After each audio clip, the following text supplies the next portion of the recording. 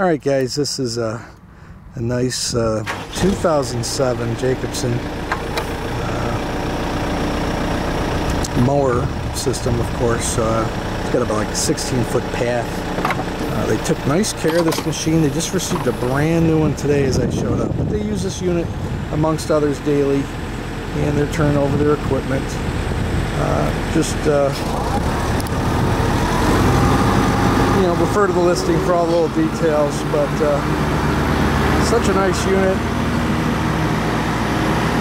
that uh, I thought I'd shoot a little video clip of it in operation.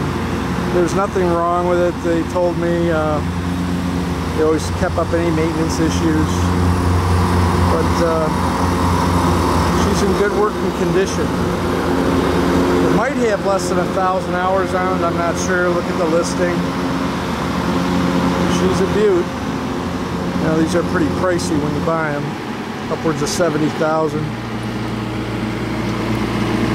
Uh, but she's in really nice shape.